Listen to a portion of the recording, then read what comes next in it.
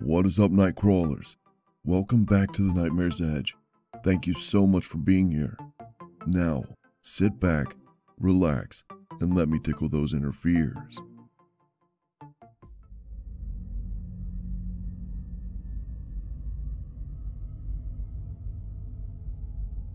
The story of the death of Elisa Lam is a case that has captivated the public since it happened back in 2013. Because of the mysterious and unusual circumstances surrounding the tragic incident, it's no surprise why.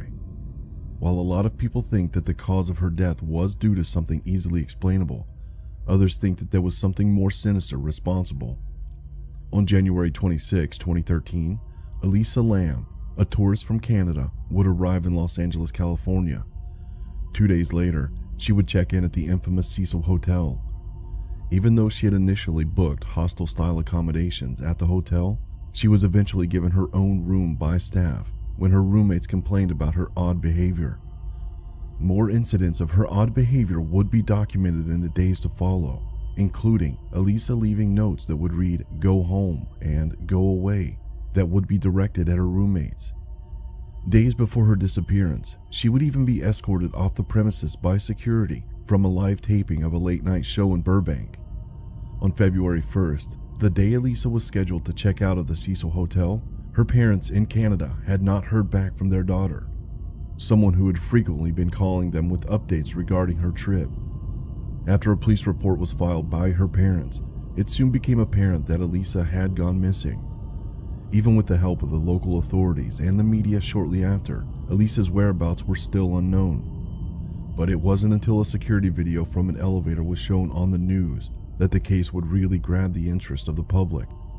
On the roughly 4 minute video, reported to be the last known sighting of Elisa anywhere, it showed the young woman acting bizarrely. Because of how odd she was behaving in the video, more and more of the public started taking an interest in the whole ordeal. But, despite the sudden urge and attention regarding the missing woman, there was still no breaks in the case. Unfortunately, it wouldn't come until other guests in the hotel started experiencing something that would eventually turn out to be horrific.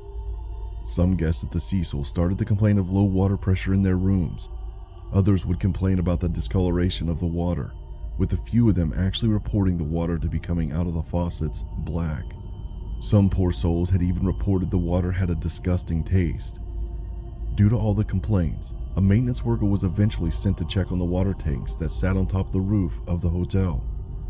But, upon opening the hatch of one of the water tanks, the maintenance worker would make the gruesome discovery.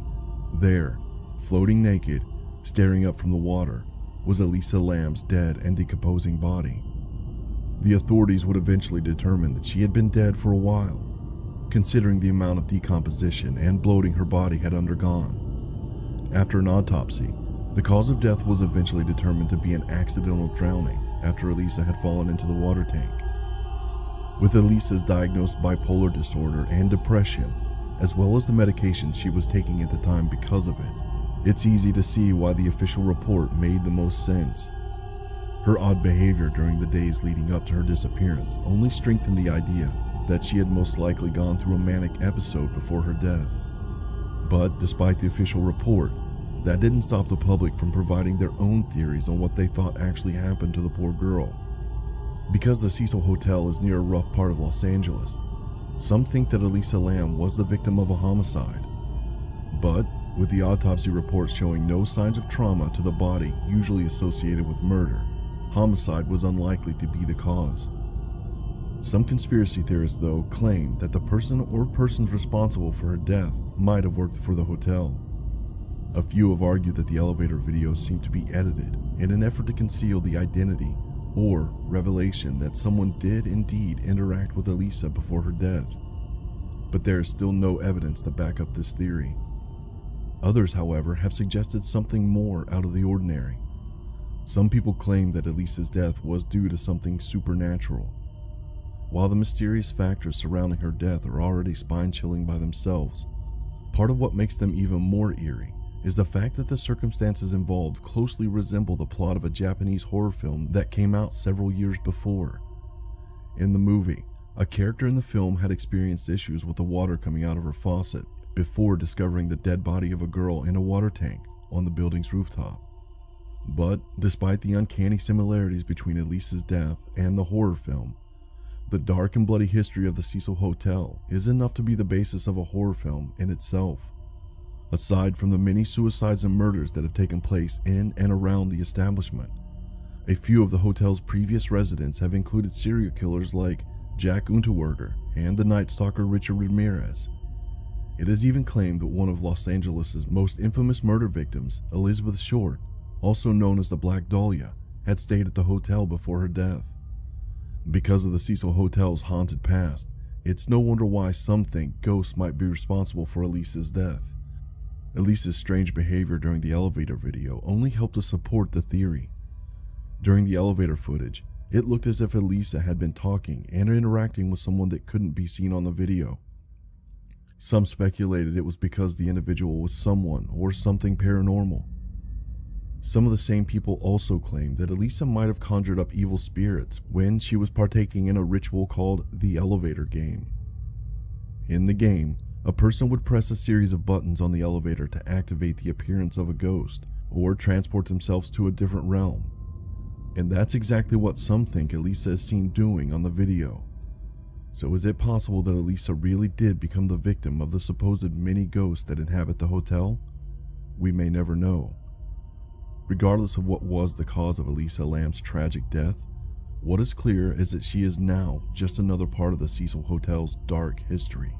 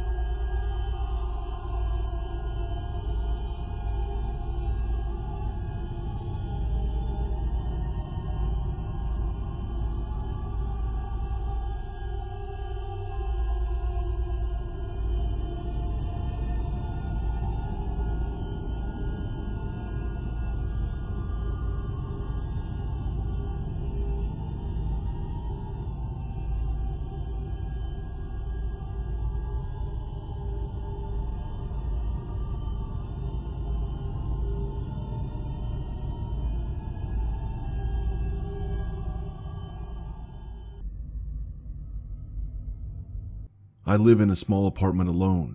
I will not disclose where I live or my name, but what I'm about to tell you is absolutely true and has been happening to me on a daily basis. The reason I'm writing about it is because I am desperate and I am hopeful this might help or someone can help me. I suffer from insomnia. Every night I go to bed and cannot fall asleep. I can only sleep if I take pills.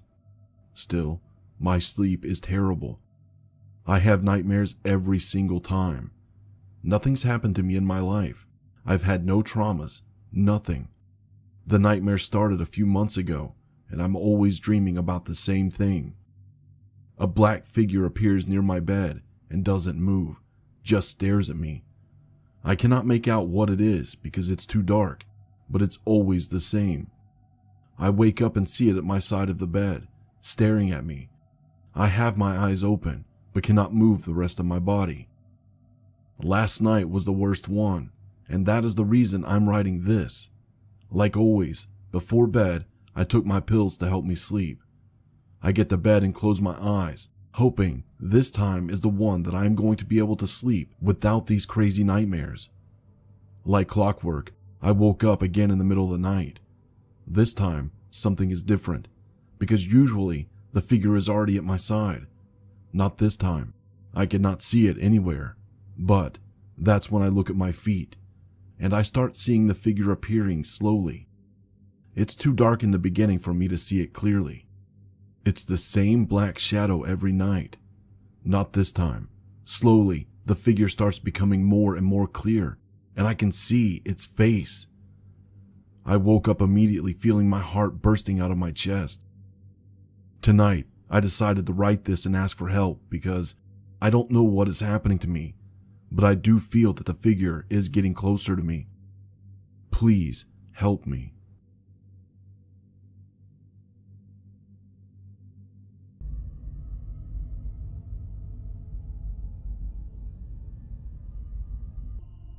I was just having a normal day chilling at home watching Netflix. I remember it was raining outside and listening to the sound was even more relaxing. After a couple of hours and after binging a lot of episodes, I had to get up and use the toilet. As I approached the door, something unexplainable happened. When I'm about to enter the toilet, I fell, but not onto the ground, into the ground. I didn't see any holes, and I'm very sure there isn't one there, but still, I'd fell through the ground into another place that wasn't supposed to be there. Not knowing where I was at that point, I took a look around, confused and scared. The only thing I could see was a massive, large corridor covered in yellow wallpaper. It was illuminated by big white LEDs that emit a very loud buzzing. The ground was covered in a grayish carpet that was wet everywhere, and in some places, you could see puddles of what I thought was water. The stench of wet carpet and moisture was everywhere and was intoxicating. I took out my phone and realized I had no reception. Maybe it was because I was underground, but there wasn't any structure built under my house. I had no explanation for what was happening. Confused, I started walking forward with no idea where I was going. A couple of hours have passed and everything looked the same. And when I say a couple of hours, I mean I had no idea. My phone and my watch were stopped. There were only a bunch of corridors with the same wallpaper everywhere. Everything looked the same. Desperate, I tried screaming for help. Nothing. The only noise I could hear was the deafening buzzing from the LEDs on the ceiling. That was until I crossed one of the corridors. I saw behind a wall something very thin moving, like a very thin arm. I was a bit far, but it looked like a hand at the end. I asked if someone was there with a trembling voice. No one answered, and the arm pulled back. I gave a step forward, but all of a sudden, something appeared from the corner, emitting a deafening screech sound that echoed through the corridors. Shocked and terrified, I could only take a glimpse of what that thing was. It looked humanoid in the sense of having arms and legs, but its head was massive and skin dark and wrinkled. It kept screeching and coming in my direction. I turned around and ran for my life, not knowing where to go. All looked the same until I reached a dead end. This was it. I had no time to go back because the creature was already closing the only exit from the corridor. As I'm walking backwards, crying and screaming, the creature also walks towards me.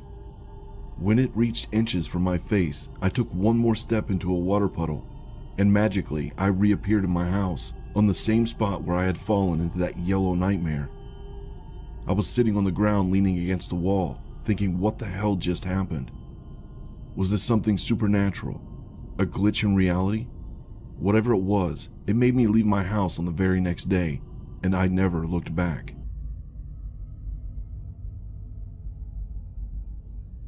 I am a security guard at a local parking lot.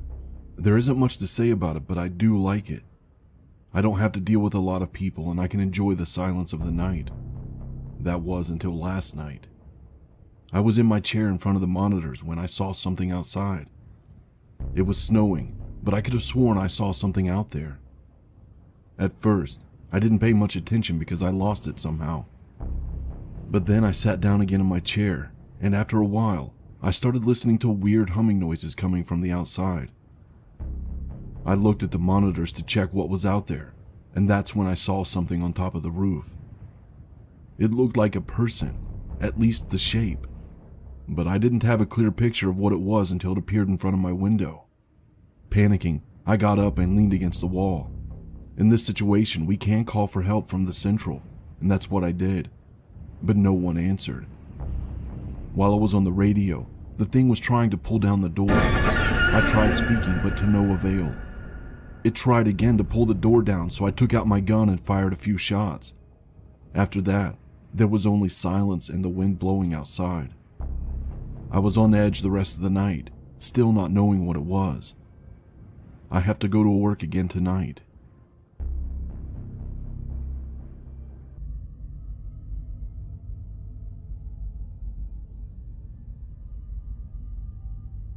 I was washing dishes when it happened for the first time. It started with small stomps on the wooden floor. It kept me guessing on what it was because I live alone with no pets. It must have been noises from the house settling, I thought. One night while watching TV, I could swear I heard whispering behind me. It scared the living crap out of me. I couldn't make out where exactly the noises were coming from, but they were getting more and more intense scratching and whispering at the same time. It was like I couldn't make out exactly what it was, but it was definitely happening.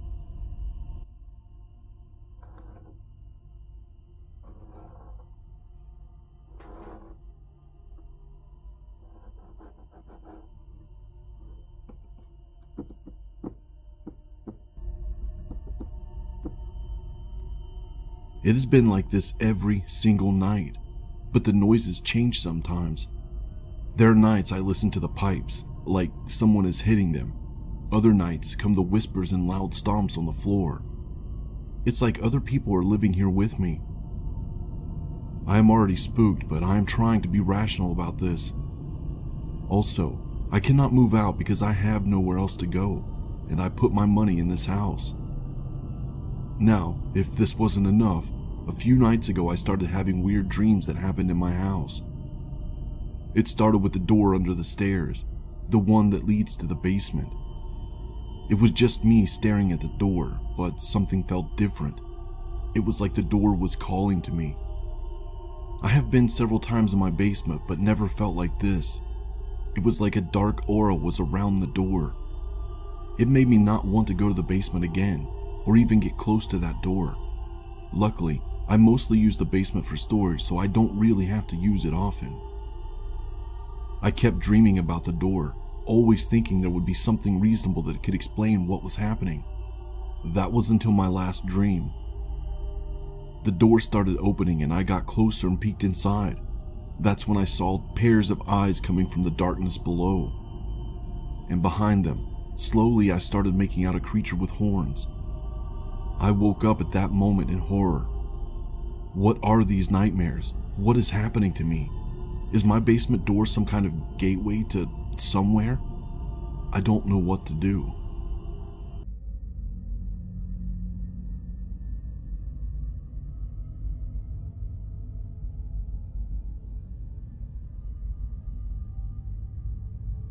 I'm going to tell you something I never imagined possible.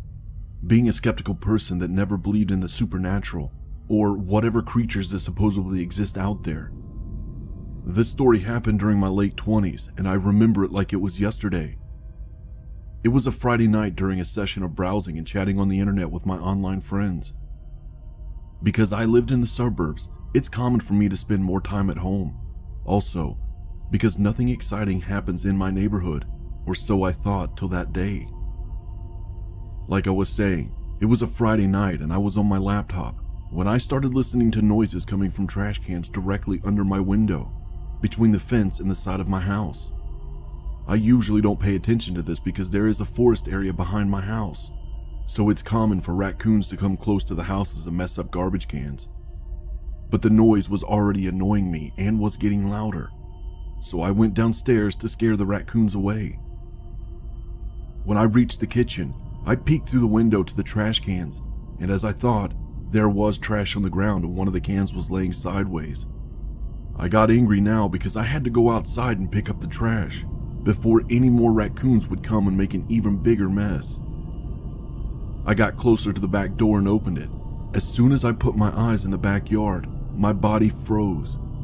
The first thing I saw behind the bushes was a tall figure that was too big to be a man. Also, the silhouette didn't look like one. Shocked, I kept looking at the figure, and with time my vision started adapting to the darkness, and I could start to really see what was in front of me. It had a muscled body and the head that looked like a dog. In a matter of seconds, the creature's eyes locked on me and it began to growl. This is when I managed to close the door and moved away, but I kept my eyes on the door. A few seconds passed and I could hear the steps of the creature walking in the door's direction. When it reached the door, the growling stopped, but another chilling sound started. The sound of claws scratching on the door. I will never forget that sound.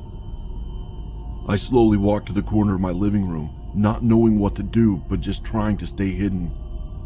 That's when I listened to the creature moving around the house, going towards the side, near the kitchen window.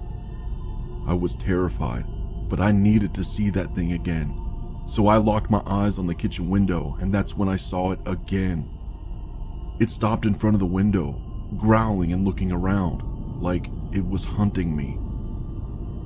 In a moment of sheer panic, I ran upstairs to my bedroom, locked everything, and closed myself in the closet. The situation felt like a nightmare. I wasn't capable of rational thought and couldn't even think of calling 911. But then again, what was I going to say? No one would ever believe me. I cried myself to sleep inside that closet. The only time I had courage to come out was in the morning. Fortunately, the creature was already gone, but it left the back door with a few scratch marks. I researched online and it looks like I had an encounter with the dogman. There are a few witnesses that had similar encounters with the creature looking like this one. One thing is for sure, it made me a believer.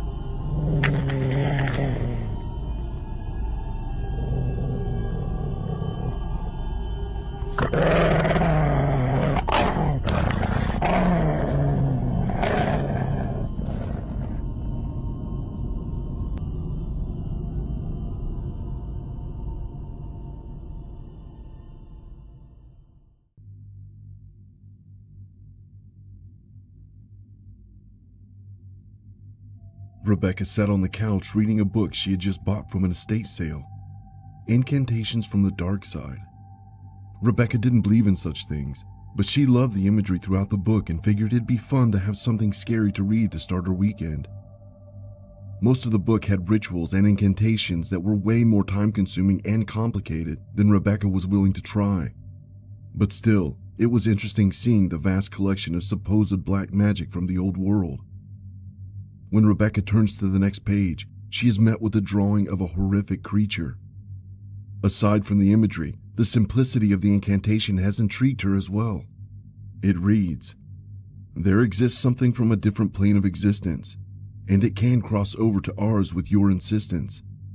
Recreate the symbol followed by taps of three, and that is everything you need to conjure thee. If you hear three taps from outside, it will be wise to run and hide. For if you give in to your curiosity, you will come face to face with the monstrosity. As Rebecca turns the page, there on the next page, she sees the symbol. Rebecca knew it was silly, but it was too hard to resist. What's the harm, she thought to herself. She proceeds to pour a little bit of wine from a hardly touched glass of wine. With the small puddle, she uses her finger to recreate the symbol from the book, and just like the incantation instructs, she taps on it three times. Eagerly, she sits quietly, waiting and listening to see if the incantation had worked. But after a few moments, there is nothing but silence. Rebecca scoffs. what a surprise. Nothing but horse crap as usual. But before Rebecca could finish her sentence, there are three taps on the window. Rebecca freezes. Her eyes are transfixed on the window where the taps came from. But after a few uncomfortable moments of silence, she shakes her head. Ha, get it together, Rebecca. You haven't even started the drink, Rebecca jokes to herself. She gets up to fetch some paper towels from the kitchen, but before she's able to take more than a few steps, there are three more taps from the window. Rebecca spins around. The hairs on the back of her neck are standing. Her body is full of goosebumps, her eyes wide and staring at the window. It can't be. There's no way. Rebecca tries to convince herself it's just a coincidence. But just as she's in the middle of her thoughts, three more taps from the window. Rebecca is shaken to her core. For the first time in her life, she starts to believe what if? What if these old incantations are real? And even though she's beyond frightened, a feeling of curiosity overwhelms her. For some reason, she can't resist the temptation to look. She shakes as her feet move closer and closer to the window. As she stands in front of the drapes, her hands reach out to grab them, ready to open them. Her heart is thumping as she's drenched in fear. She stands in place, shaking and sweating. Three more taps on the window, this time much louder. Her eyes open wide, thinking about what she might see. But despite her gut instinct telling her not to open the drapes, she does. With a quick swipe of the curtains, Rebecca comes face to face with nothing. There is nothing but the darkness of the night outside. Her eyes dart side to side, looking for a trace of anything unusual but she sees nothing aside from a small tree's branch swaying in the wind. That's what must have been tapping on the window, Rebecca tells herself. Breathing heavily, Rebecca is confused but relieved. But just as she's about to close the drapes, three taps. Rebecca is completely stricken with terror, but this time, not only did she hear three taps again, but she felt them right on her shoulder.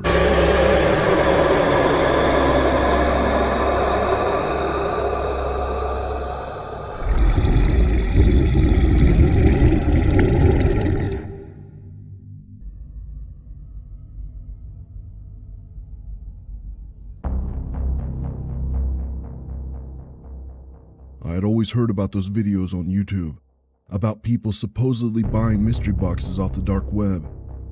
Whether they were true or not, I still found it fascinating. So one day, I decided to finally buy one and see if they were worth all the hype or not. Even though I'd been going through the dark web for a while, this would actually be the first time I'd be purchasing something. Through some recommendations, I found a site that sold some of these mystery boxes how they obtained them, I have no idea, but the prices were surprisingly low. I'm guessing that a lot of these people involved just loved gathering and making this stuff like it was a hobby. Even though I almost backed out, I eventually ordered one. After a few weeks, a package without a return address finally arrived at my door. At first, I was hesitant to open it, but after a little bit of alcohol, I finally gathered the courage to do so. Inside of the brown shipping box was a smaller box. I used my pocket knife to cut through all the tape it was wrapped in. My gut instinct was telling me this might not be a good idea, but my morbid curiosity was just too much to ignore. I took a deep breath before finally taking a look inside. Right from the start, I was hit with a strong scent of pine. I was confused at first, but soon realized it was due to all the car fresheners scattered inside. Weird. I thought, but I quickly threw them to the side. Next thing I saw was a keychain of a plastic toy rabbit. It was so cute, I actually wasted no time hooking it to my keys. When I looked back in the box, that's when I noticed the purse. I was kind of surprised when it was one of the purses that I knew must have cost more than I paid for the mystery box itself. Maybe it was a knockoff, I told myself. After setting it aside, I continued digging into the box, but what I saw next started to give me an uneasy feeling. At first, I didn't know what it was, but after a bit of unfolding, I realized it was a pair of latex gloves. And all over them was some kind of dark brown substance that had turned into crust. This could be anything, I thought to myself. However, the smell it gave off was that of rust. Just like the other items, I put them aside as well. But at this point, I started to get a bit concerned. I had no intention of stopping though. The next thing I saw was a layer of fabric. Upon inspecting it, I could feel something inside. After unfolding, I realized what it was. A lock of blonde hair tied together with a ribbon. The feeling of something being wrong was now getting stronger and stronger, but a part of me kept trying to convince myself that this was just a prank. I was just way too curious to see the rest of the contents of the box.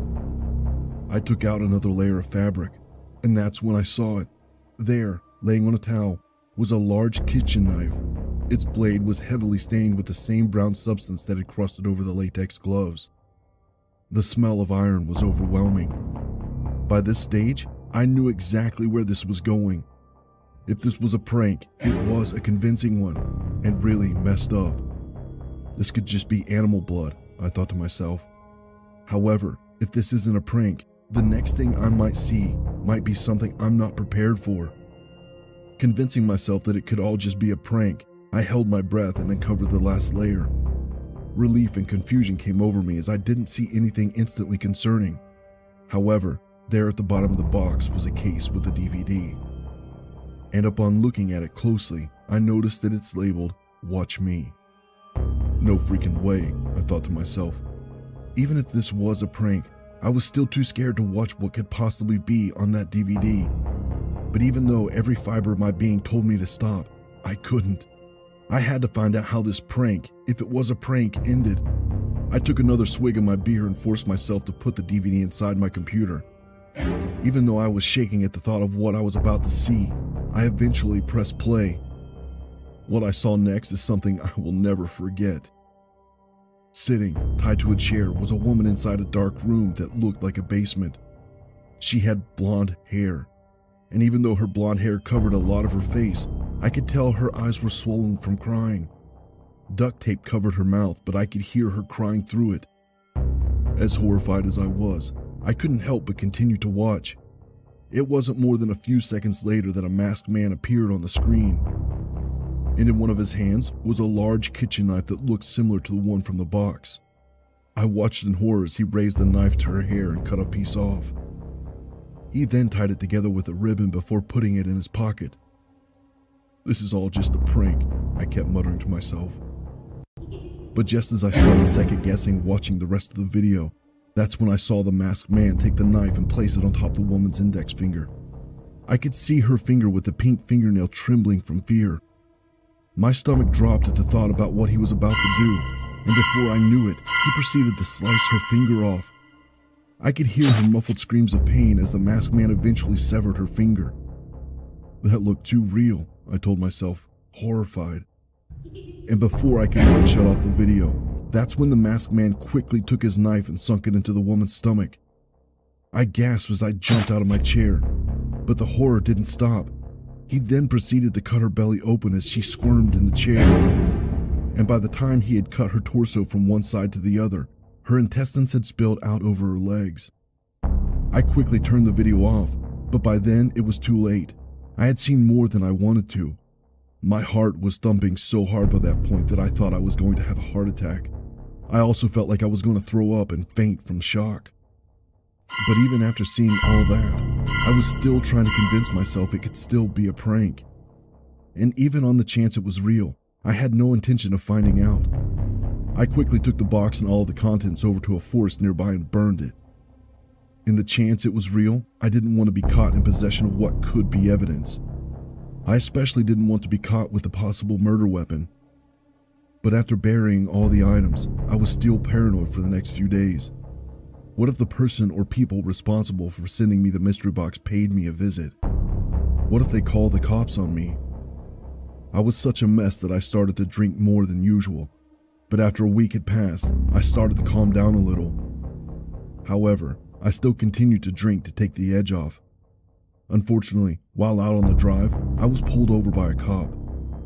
He told me he had noticed I was driving kind of erratically, and after taking a breathalyzer test, it was determined that I was a little over the alcohol limit. But since I was driving in the middle of nowhere and no priors, the cop decided to give me a break. Since my house was just a few blocks away, he had escorted me just to make sure I got home safely. But just as he was about to hand me back my keys, he noticed a strange smell coming from it. Both of us were confused as to what could be causing the smell. That's when the cop noticed the bottom of the toy looked like it had been cut open and sealed. After poking at it with the knife, he was eventually able to open it and shake something loose from within. As the object fell into his other hand, we both looked on in horror as we realized what it was. There, in his palm, was the severed, rotting finger of a woman with a pink fingernail.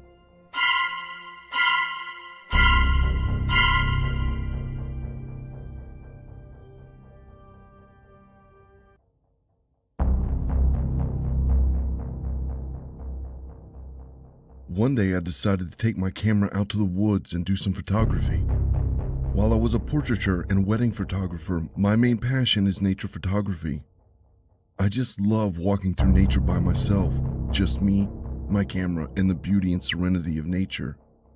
This time, I was looking for the best photo I could take, looking around the scenery while listening to the sounds of nature, including the birds. However, the birds flew away and everything went quiet. That was when I heard a crying, which doesn't sound like it's from an animal, but from a baby. I walked toward the crying, bewildered. I eventually saw a pram just in the middle of the woods, nobody else around. I, without thinking, approached the pram. As I got close, I realized that the crying was repetitive, like it was on a loop. There was a blanket on the pram. I took it and saw what I should have expected to see a speaker. I turned around and suddenly I got tackled to the ground. Someone got me in a rear naked choke and was choking me. I struggled to get up until I blacked out. When I woke up, I was lying face down on the ground. My hands tied behind my back and my shirt had been taken off. My shirt had been ripped off and used to bind my hands.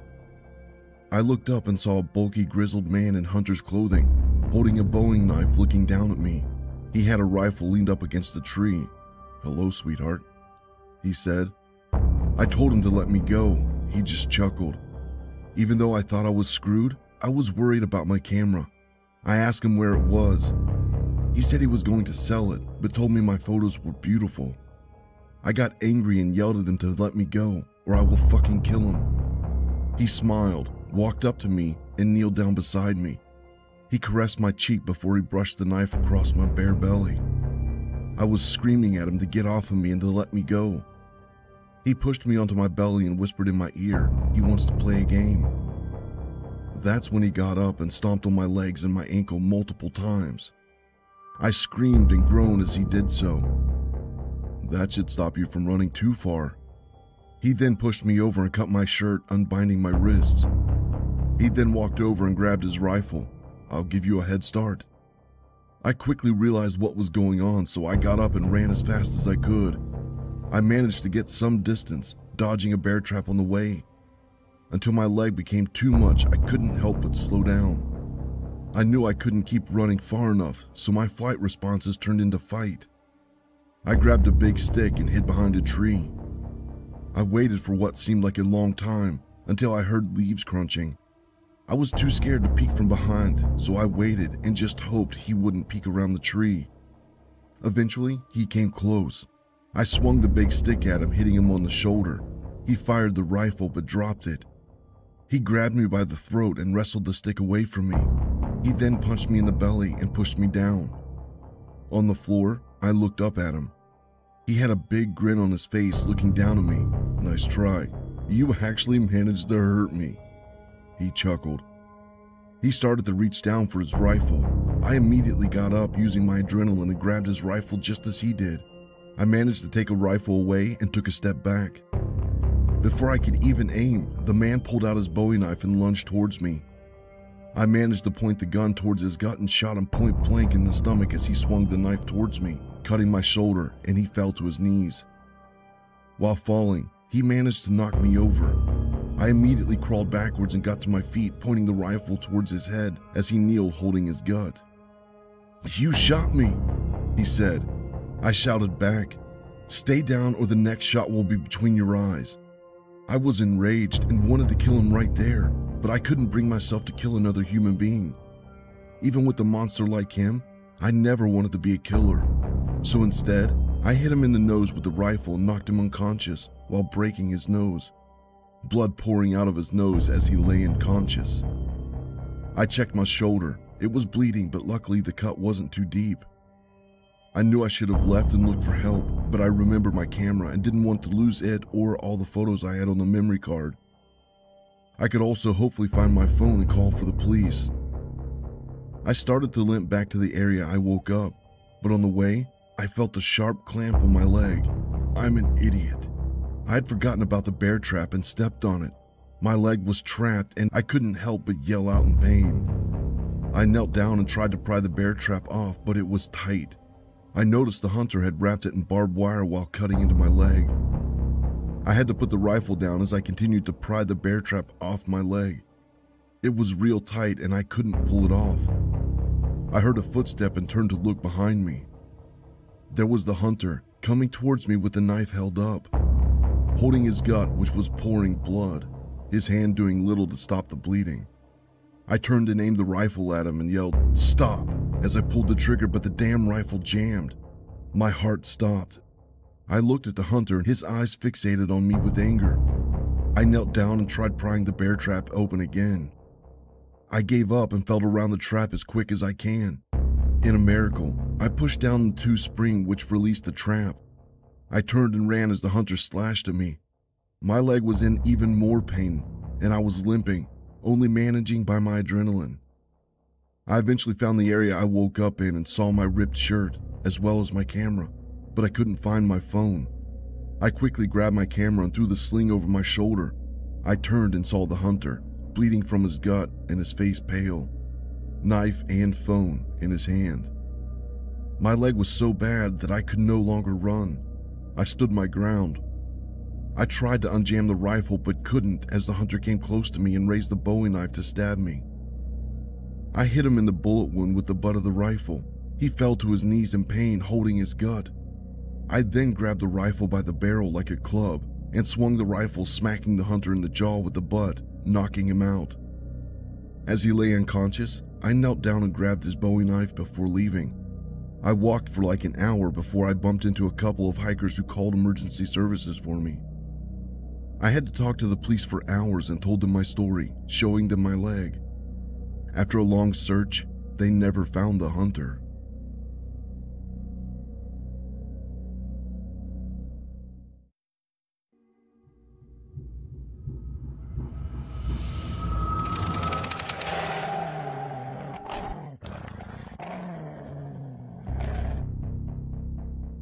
It all happened when I was 12 years old.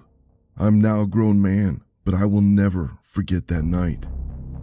I still have nightmares about that night, and I never go out at night near the woods.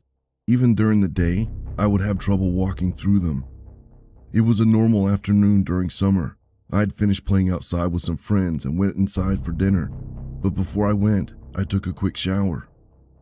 When I was in my bedroom preparing myself, I heard some growling noises coming from outside. At first, I thought it was a dog, but it felt too close. I walked closer to the window. I wanted to see what animal was doing these growling noises. I couldn't see anything, but the growling was still there. I looked everywhere, but nothing. Later in the evening, after having dinner, I went to my room to play some more before sleeping. Since it was summer break, I could stay up longer. While playing, I started listening to stomp noises on the roof. My room is on the second floor, so I was directly under. I stayed there for a while, just listening to the stomping. It sounded like someone was walking on the roof. A few more seconds passed and the stomping stopped, but that was when a chilling sound came from behind me. Outside the window, a sound of scratching on the glass could be heard. I looked back and I saw it. A figure of something that looked like a dog and a man at the same time was outside my window, drooling and growling at the same time. I screamed. My parents came to my room, but the creature was already gone. I told my parents what happened, but they didn't seem to believe me. No one ever did.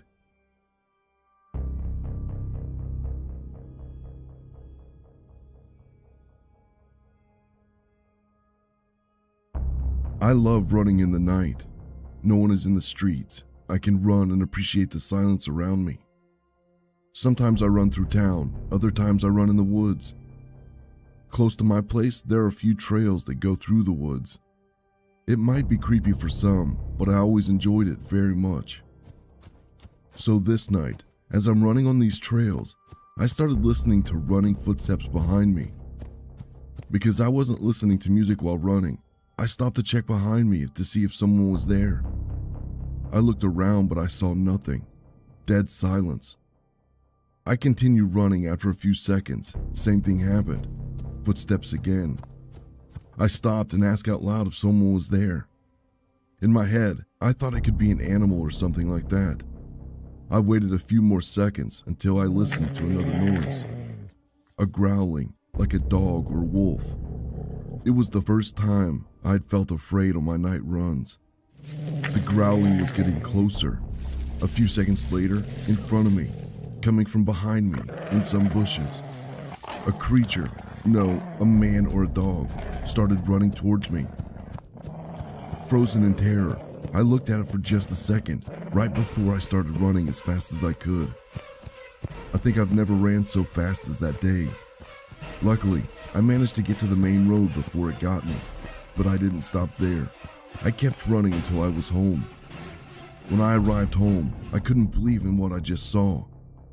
I tried to sleep as best as I could, and the next day, I did some research on local wildlife, but I couldn't find anything. Not until I'd looked for cryptid encounters. It looks like where I live, there are others that have seen the same creature I saw that day the dog man. I never again ran at night. I was riding my e bike through a road a few miles from my house. The road was surrounded by forest on both sides. Everything seemed fine until I heard a sound coming from the tree line. Even though I had no idea what it was, my worst fear had always been possibly getting attacked by a wild animal. So I sped up the e bike to make sure I wasn't in any danger. But I was horrified to see that whatever made the sound was actually running behind the tree line alongside the road. What I thought was an animal at first would actually alternate from running on all fours to running on two legs. I started to freak out because it looked like a bear or a wolf was running like a human as well. I'm thinking it's just some weirdo in a costume, but what really concerned me was even though I was going almost 20 miles an hour on the e-bike, whatever this thing was was keeping up with me. I was just hoping I could make it to the gas station a few miles away to get some help. However, I was worried I'd run out of juice on the e-bike before I got there. By now, I was going full speed and this damn thing was still chasing me. The whole time I could hear something sprinting and grunting through the forest. Also, I could see it in my peripheral vision. And just a few seconds after that, that's when I finally hear it emerge from the tree line and chase me from behind on the road. It was too dark to probably see anything. I just leaned down on my e-bike and basically prayed Thankfully, the lights of the gas station soon emerged from the distance.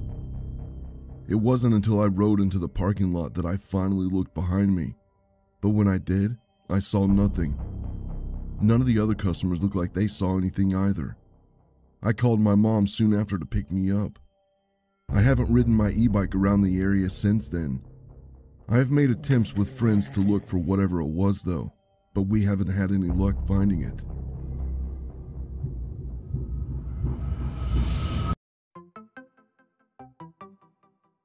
Thank you all so much for hanging out with me tonight. I had a blast. Now, the animations you've seen done were done by the Darkest Tale Animation Studio. Their channel is going to be listed in the description. Now, these videos are over there on his channel, but he's given me permission to use them here. I figured it's a good way to get him some exposure. Maybe some of you don't know about him. He's a good guy and does a lot of great work. You guys definitely should go check him out. Give him some love. DT, thanks so much for letting me do this, buddy. I appreciate it. But with that, remember, just because you couldn't see it doesn't mean it wasn't watching you.